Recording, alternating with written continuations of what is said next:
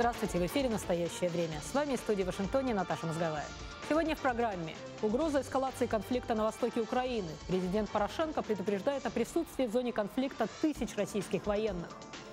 В Вене проходит очередной раунд переговоров с Ираном по ядерной программе. Отведенное для достижения соглашения время подходит к концу.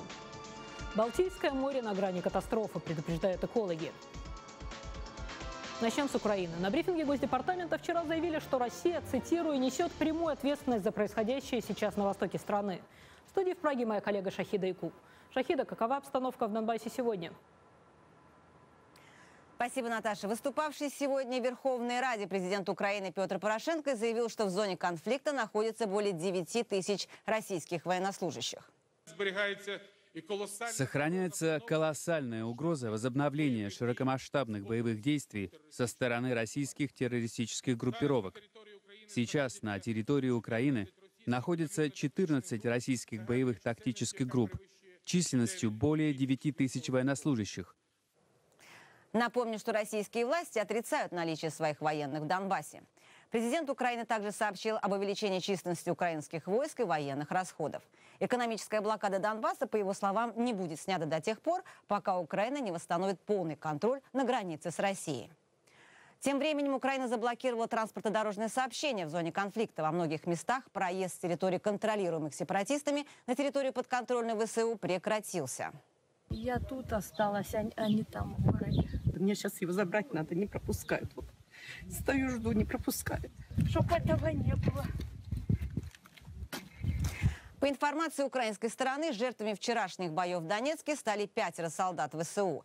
На территории, контролируемой сепаратистами, погибло 14 человек и более 120 ранены, сообщают представители непризнанной ДНР.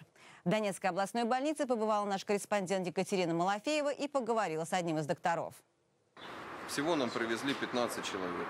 Думаю, такое же количество бы обратилось и в другие больницы. Огнестрельная. Минно-взрывная травма, осколки. Мужчину привезли с Абакумова, травма несовместимая с жизнью, ранение брюшной полости. А вот что сказала одна из пострадавших, попавших в Донецкую областную больницу. Пролетела, бахнула нас и все. Ни дома, ни, как говорится, ни крыши, ни в доме там понаделал аврал. Какие-то вот... Меня откинуло в огород, бахнуло, я упала, но ногу меня скосило, и я ни туда, ни сюда стала кричать в огороде. А тут муж, я на мужа глянула, он весь окровавленная, вся голова окровавленная, думаю, ну, в голову попала ему. Михаил Саакашвили отказался от грузинского паспорта в пользу украинского, чтобы стать губернатором Одесской области. Это решение вызвало ожидаемый шквал критики от нынешнего руководства Грузии. Оппоненты Саакашвили, находящиеся у власти в стране сейчас, отреагировали на его решение категорично. Он оскорбил нашу страну и институт президентства. По-моему, такие ценности, как гражданство, гораздо важнее карьеры. Я не понимаю этого шага. Слова президента Грузии практически повторила и нынешний министр обороны.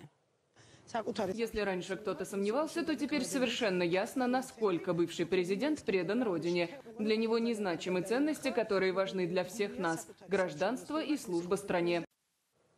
Михаил Саакашвили покинул Грузию сразу после того, как проиграл президентские выборы в конце 2013 года. На родине против него выдвинули обвинения по нескольким уголовным делам и объявили в розыск. Что думают белисты о новом назначении их бывшего президента? Наши коллеги провели опрос на улице города. Это очень, э, мне кажется, важный шаг для Украины. Я думаю, что ничего хорошего, поскольку методы его правления вы уже все хорошо знаете, до чего они довели. Не знаю, может быть, украинцам это нравится. Но если они решили, что им так лучше, Бог им в помощь. Ну, я думаю, что он в первую очередь должен был соглашаться на это, потому что параллельно этого стал вопрос о гражданстве Грузии. Я думаю, что это просто непростительно. Я думаю, сможет. В соседней Армении разгорелся очередной политический скандал. Один из депутатов правящей партии, Аракел Мавсисян, заступился за семью министра обороны страны и пригрозил изнасиловать и обезглавить обидчиков. Все дело в том, что журналистка местной газеты написала о возможной причастности жены министра смерти сына известного армянского предпринимателя. Подробнее в репортаже Александра Касаткина и Сиса Габриэлян. С жестокими угрозами выступил депутат от правящей партии Армении в адрес тех, кто посмеет критиковать семью не кого-нибудь, а министра обороны страны. В интернет-ролике Аракел Мавсисян заявил, что министр обороны Сейран Аганян – герой нации. Дай бог попадутся мне, я лично их обезглавлю. Боже упаси, если их поймаем, обязательно изнасилуем. Ранее супруга министра обороны Армении подала в суд на газету «Грапаракс» за оскорбление чести и достоинства. Я просто написала, какая информация распространяется в СМИ. Если они видят в этом состав преступления, пусть решение примет суд. Спикер парламента Галус Саакян посоветовал не воспринимать угрозы буквально. Журналисты в своих публикациях тоже идут на провокации и угрозы против меня лично. Комиссия по этике Национального собрания Армении отказалась рассмотреть заявление депутата до официальной жалобы. Александр Касаткин, Сисак Габриэлян. Настоящее время. В России в рамках закона о нежелательных организациях из Госдумы уже поступил запрос о проверке пяти правозащитных НКО на нежелательность. В их числе оказались российское отделение Transparency International. Корреспондент «Радио Свободы» побывал в московском офисе этой организации. Заходите, пожалуйста. Офис борцов с коррупцией довольно скромный. Организация расположилась в четырех небольших комнатах на цокольном этаже. Так, эта комната называется детская, потому что когда-то здесь были стажеры, а сейчас вот это мое рабочее место. А, но да, вот эти, вот эти люди, собственно, дети, вот, э, на самом деле наши молодые относительно сотрудники. Процентов 90 работа Transparency рутина. К примеру, надо найти региональных депутатов, не задекларировавших свои доходы. Таких оказалось 746 в 52 субъектах федерации. Нижегородская, Ярославская. Ну, то есть это странно же в каком-то смысле, что общественная организация мониторит, выполняется ли постановление правительства РФ. То есть, ну, вообще, конечно, правительство могло бы само там выделить человека, который бы посмотрел, вот, и начал бы там звонить туда, где оно не выполняется, и говорить, ребята, вы там это ничего э, не забыли опубликовать. Ну, если не... Для этого у нас есть прокуратура. Но прокуратура, Ну, прокуратура- она скорее будет гоняться за некоммерческими организациями, чем он будет непосредственно выполнять. Да, чего прокуратура будет Якунину звонить, спрашивать, него декларация? Нет, она лучше к нам придет и будет нас Это намного интереснее, потому что Якунин ничего не ответит. Там и все. Нет, Якунин просто матом пошлет, даже на английском языке. Он хорошо владеет английским, и поэтому... Относительно думского запроса в Transparency не сильно волнуются. Российское отделение – самостоятельное отечественное НКО, и под действие закона о нежелательных организациях подпадать не должно. Илья Кизиров, Антон Олейников, Радио Свобода, Москва. Самым громким проектом Transparency International является индекс восприятия коррупции. Вычисляется он каждый год, и Россия традиционно оказывается в конце рейтинга, наравне с Нигерией и Кыргызстаном. В самом Кыргызстане парламентарии обсуждают законопроект об иностранных агентах. Этим статусом будут наделены некоммерческие организации, которые финансируются из-за рубежа и занимаются политической деятельностью на территории страны. Наш корреспондент Адилет Бектурсунов встретился с авторами закона и правозащитниками. Законопроект, обязывающий кыргызстанские НКО сообщать об их источниках и размерах финансирования, внесен на обсуждение в парламент. Об этом заявил автор законопроекта, депутат Нуркамиль Мадалиев. Он назвал свое детище своевременной и актуальной мерой регулирования деятельности НКО. В стране их зарегистрировано свыше 15 тысяч, и, по мнению депутата, многие из них работают непрозрачно. Почему государство не должно иметь право э, значит, иметь информацию о деятельности организаций, да, которые работают на ее территории? Депутаты предлагают внести в закон понятие «иностранный агент». Под него подпадут некоммерческие организации, которые финансируются из-за рубежа и занимаются политической деятельностью. В законе вообще нет определения того, что такое политическая деятельность, поэтому э, это угрожает э, вообще э, такой избирательным применением санкций в отношении НПО. Да? Предлагаемый законопроект многие правозащитные организации называют антиконституционным. Формулировки расплывчатые и непонятно, какой орган будет заниматься надзором. Политики стараются предвыборный период каким-то образом устранить те независимые НПО, которые отслеживают все формы политической коррупции, да? Это не первые попытки парламента регулировать неправительственный сектор в Кыргызстане. Два года назад законопроект не нашел достаточной поддержки депутатов. Кроме того, с некоторой формулировкой был не согласен даже сам президент Алмазбек Тамбаев.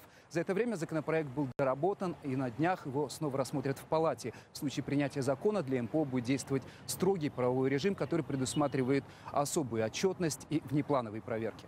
Адилет Бектурсунов, Азат Антымаков, Улан Сналиев. Настоящее время Бишкек, Кыргызстан. Коррупционный скандал ФИФА продолжается. Подробности у Наташи. Спасибо, Шахида. Бывший вице-президент ФИФА Джек Уорнер заявил, что в его распоряжении есть документы, связанные с финансовой деятельностью организации. В частности, о связи чиновников ФИФА и ее президента Зепа Блаттера с национальными выборами в Тринидаде и Тобаго 2010 года. По словам Джека Уорнера, эти документы могут пригодиться американским следователям. И лично он, хоть и опасается за свою жизнь, больше не собирается молчать. При этом Уорнер отрицает, что лично он был замешан в каких-либо правонарушениях. Это неправда. Южная Африка не давала мне взяток на сумму в 10 миллионов долларов. Они не давали мне никаких взяток. И Блаттер не давал мне никаких взяток. И когда кто-то сегодня задал мне глупый вопрос, я сказал ему «не сегодня», потому что я знаю, что они спешат все напечатать. Все СМИ хотят свою информацию, и они пишут чушь. Блаттер знает, почему он пал. Если это знает кто-то еще, этот человек – я. Пентагон сообщил, что возросло число адресатов, ошибочно получивших посылки с образцами живых возбудителей сибирской язвы, которые были отправлены с военной базы в штате Юта. Изначально предполагалось направить безопасные штаммы, штаммы для калибровки оборудования, предназначенного для борьбы с биологическими атаками. Штаммы были доставлены в 51 лабораторию в 17 штатах США и в Федеральном округе Колумбия, а также в Канаде, Австралии и Южной Корее. Свыше 30 сотрудников Пентагона и еще 8 гражданских лиц пришлось отправить в карантин, однако власти заверили, что случаев заражения не зафиксировано и что концентрация активных бацилл в пробирке недостаточно для того, чтобы представлять опасность для здорового человека. На брифинге в Пентагоне также объяснили, как были упакованы образцы. Они находятся в пробирке с герметичной резиновой пробкой, которая кладется в пакет, и пакет заворачивает в специальную ткань, которая способна впитать любую просочившуюся жидкость. Пакет кладется в герметично закрытый контейнер из поликарбоната и, наконец, помещается в небольшую коробку, обложенную сухим льдом. В конечном итоге трудно представить ситуацию, при которой 1 мл жидкости сможет просочиться из этого контейнера. В Вене проходит очередной раунд переговоров шестерки по иранской ядерной программе, который предполагается завершить заключением соглашения до 30 июня. Процесс осложнился из-за обнародованной газеты «Нью-Йорк Таймс» информации о том, что во время переговоров Иран продолжал накапливать ядерное топливо. За последние полтора года его запас вырос на 20%. Однако, по словам представителя Госдепартамента Мари Харф, это не является основным препятствием. То, что запасы иранского ядерного топлива могут уменьшаться и увеличиваться, совершенно нормально. Однако к 30 июня они не должны превышать 7650 килограмм. В прошлом МАГАТЭ информировала о подобных процессах, и иранцы всегда выполняли требования, что, как мы ожидаем, произойдет и на этот раз. И я бы хотела сказать, что вопрос об уменьшении или увеличении иранских запасов – это не самая большая проблема на переговорах. Иран согласился сократить свои запасы, и переговоры о том, каким образом он это сделает, продолжаются. Для Вашингтона в отношениях с Тегераном есть еще одна чувствительная тема. Американские граждане, которые оказались за решеткой в Иране по обвинениям в шпионаже, которые США категорически отвергают. Их родственники выступили на этой неделе на слушаниях в Конгрессе с требованием поставить освобождение заключенных одним из условий будущей сделки. В революционном суде Тегерана публику в зал заседаний не допускают. Процессы проводятся в закрытом режиме. Недавно репортер газеты «Вашингтон-Пост» Джейсон Резаян, который более 300 дней провел за решеткой по обвинению в шпионаже, предстал перед судом. Его брат Али заявил, выступая в одном из комитетов Конгресса, что обвинения в шпионаже безосновательны. Я вам точно скажу, обвинения против Джейсона являются ложными. Джейсон действительно иногда писал о внешней и внутренней политике Ирана, но это то, чем журналисты занимаются совершенно законно, что признано во всем мире. Роберт Левинсон исчез в Иране в 2007 году. Его родные говорят, что история Америки не знает примеров, когда кого-то держали бы в заложниках дольше, чем Роберта. Они надеются на то, что переговоры с Ираном по ядерной программе приведут к освобождению Левинсона. Моя семья считает, что эти переговоры – самая лучшая возможность добиться того, чтобы мой отец целости и сохранности вернулся домой. И мы хотим, чтобы в ближайшие недели американские официальные лица приложили более активные усилия, когда они будут встречаться с представителями Ирана. В 2012 году власти Ирана арестовали пастора Саида Абедини за то, что он организовал изучение Библии во время мероприятия, которое, как говорит его жена, никак не противоречит законам Ирана. Саида пытали. Первые несколько месяцев заключения его довольно жестоко избивали. Тогда началось внутреннее кровотечение и были повреждены внутренние органы. Его отправили в какую-то отдаленную тюрьму. Комитет Палаты представителей по иностранным делам принял резолюцию, требующую освободить всех американцев, арестованных в Иране. Комитет заявил о своей солидарности с каждой из ваших семей. Мы можем представить, что вам пришлось пережить. Мы разделяем ваше возмущение. Мы понимаем ваши чувства безысходности, понимаем, в каком положении вы оказались. Законодатели заявили, что если американцев не освободят, то они не смогут доверять иранскому правительству. Их трудно будет убедить в том, что иранская сторона выполнит условия соглашения, которое планируется заключить до конца месяца. И раз уж мы затронули ядерную тематику, в течение всего нынешнего лета в США будут проходить мероприятия, посвященные 70-летнему юбилею Манхэттенского проекта. Его результатом стало создание американскими учеными атомной бомбы.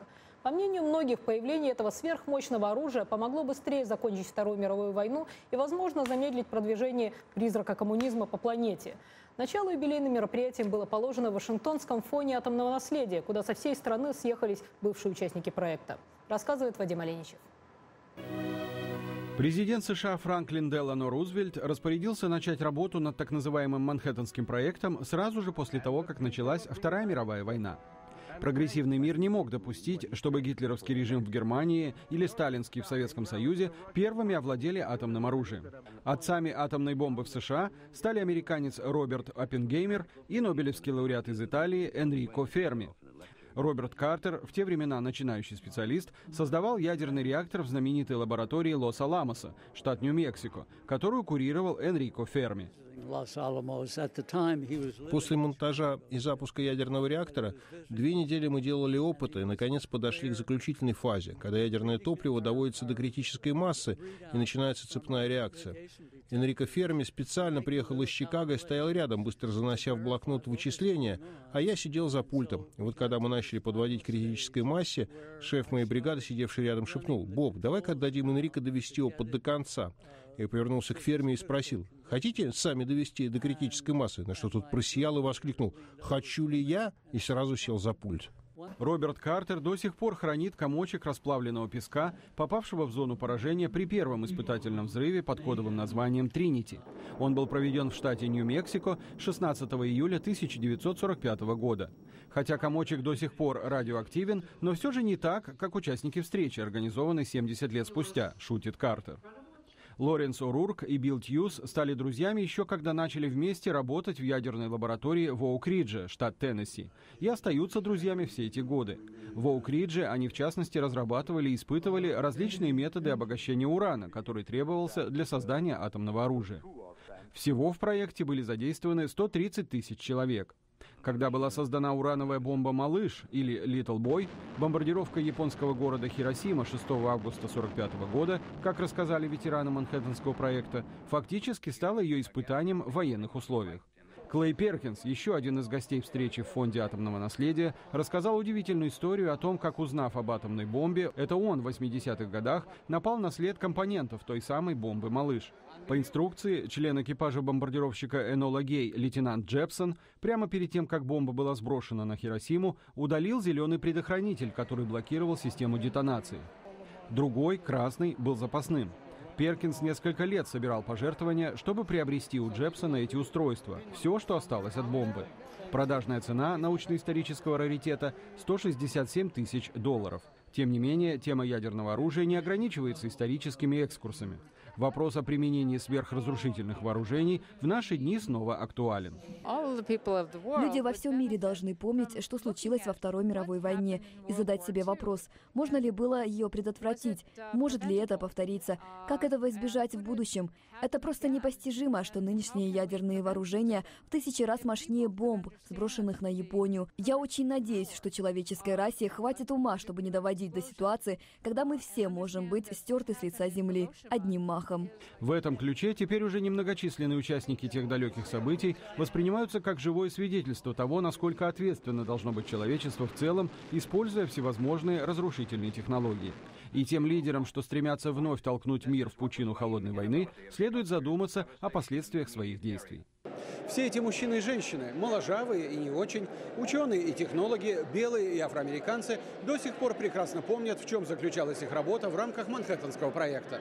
Однако только теперь, десятилетия спустя, многие из них по-настоящему осознали, насколько глобальное значение имело то, что они делали.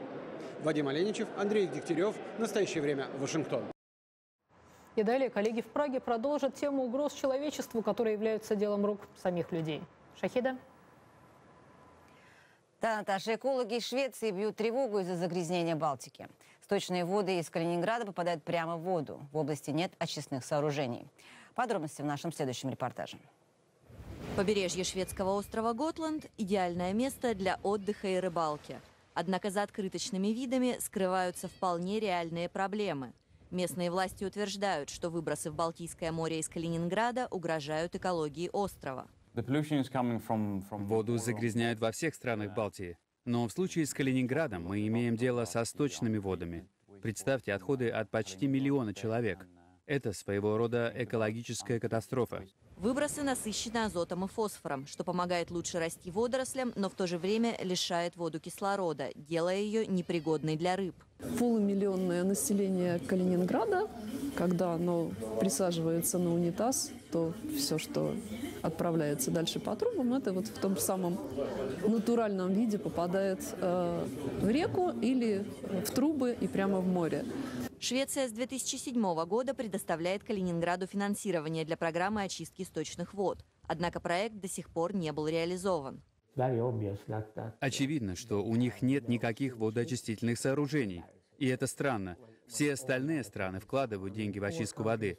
Страны Балтии и Польша. В тех участках Балтики, где выбросы строго регулируются, экологи замечают сдвиги в лучшую сторону. Мы видим положительные результаты. Здесь снова плавают тюлени. Фауна возвращается. Следовательно, экологические программы работают.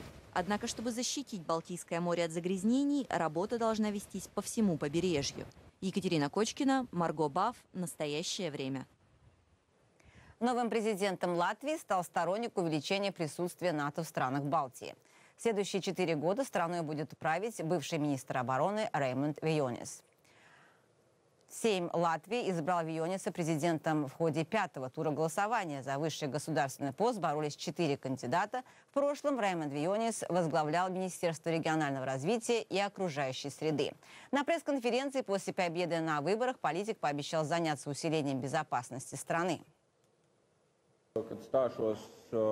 Моим приоритетом на посту президента будет, без сомнения, безопасность страны во всех смыслах. В первую очередь, внутренняя и внешняя безопасность. Это означает усиление и развитие наших вооруженных сил, а также увеличение присутствия НАТО в Латвии и Балтийском регионе. И, разумеется, укрепление наших границ. По статистике, в Латвии больше всего женщин-предпринимательниц в сравнении с другими европейскими странами. Женщины здесь традиционно считаются двигателем прогресса и источником процветания страны. С тремя историями успешных латышских бизнес-вумен ознакомился наш корреспондент Александр Силич старую типографию, которая размещалась вот в этом здании, прямо возле знаменитого Домского собора в Риге, пришлось приватизировать почти на драконовских условиях. Месячные выплаты в шесть раз превышали оборот типографии. Деньги в результате нашлись, и теперь здесь один из самых шикарных рижских отелей – Гутенбергс хозяйка которого Майрита Солима сегодня одна из самых известных в Латвии предпринимательниц. Латвия исторически была лакомым кусочком для разных воевателей. И мужики, пока воевали, женщины были вынуждены думать о детей, о стране, о крыше над головой. Увидела свою мечту и вот уже более 10 лет успешно ее реализовывает еще одна известная в Латвии бизнес-вумен Юлия Лочмеле, генеральный директор продюсерской фирмы «Артфорте». Гастроли известнейших и популярнейших в мире симфонических оркестров – балетных и театральных труп заслуга организаторского таланта Юлии. Ну, у нас так как-то сложилось, мне кажется, что Латвия вообще страна женщин. А, и мне кажется, что основные моменты и в бизнесе, и в политике здесь делают женщины.